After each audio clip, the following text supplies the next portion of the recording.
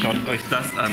Das ist die echte große Zeitmaschine und wenn man draufdrückt, macht sie sogar tolle Geräusche. Da werdet ihr euch alle freuen hier. Ich werde alle 10 Sekunden werde ich da draufdrücken und es macht, hat 10 verschiedene Geräusche hier.